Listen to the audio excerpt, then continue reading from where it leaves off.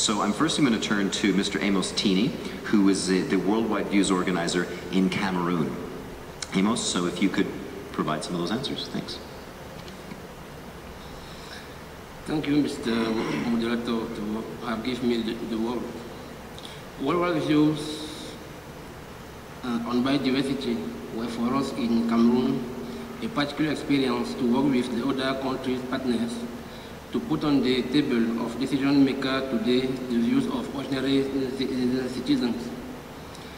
The style and the approach had something particular and gave to all the members to learn to gather. The information material was prepared to do it. And then there were recruitment of citizens who are low robin with all, all the sociological sensitivity and it was good. This process is of a great interest for our country where some citizens think that some decisions are often made against them in spite of their relevance, but also that the application, such as, is, such as it is, does not allow achieving the goals. The citizens have had once more on this occasion the possibility to say that they like to participate to the preservation of the biodiversity, but the wish is that one consider the right to the de development. We knew it already, but to take part in this expression for a high-level de de destination was also exciting. We work with population at the base since many years. We work with them in the identification of the strategies of local development with respect the principle of citizen participation. To work with this population in a global process which allow the decision maker at the highest level as a regards biodiversity to which they are, confront, they are confronted each day was a challenge to which we had to take part. Concerning results that we find most interesting, we saw that priority to ensure the protection of, of nature areas in our country is for education of school children and the public by promoting biodiversity issues. Even if one more to complain about the other, in particular, uh, private operator who does, who does not, who don't respect some clause of the, of the contract. For example, in the afforestation of the expectation of which they have the load. It is, interested, it, it, is, it is interesting to note that education is the priority in our country.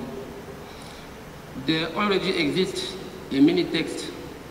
The good application will give better results than what one has today. The question concerning who should supply financial resources for biodiversity protection in developing country is supposed to of having a great interest for us for the implementation of our actions. Our choice, like that of the other taken in consideration generally result is that both industrialized and developing countries should be obliged to pay, but the industrialized country should pay the principal share. Not because they have much money, but because the developing countries seem to bring on the table of the biodiversity some elements which belong to the resources of development. Concerning the share of benefits uh, with the country of origin, if the species were collected before the Nagoya Protocol enter into force, it is right to think that it is a natural effort which can be a word for those which benefit for a long time from the biodiversity without holding account that this one integrates the, integrates the local communities. The share of the benefits with the country of origin, if the, if the species were collected before the Nagoya Protocol is an element of motivation and of social justice and we are waiting that this strong expression is taken into account.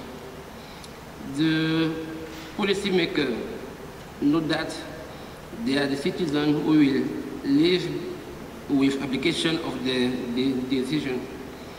They integrate the citizen participation in the environmental governance, taking into account what some already did for the realization of this project.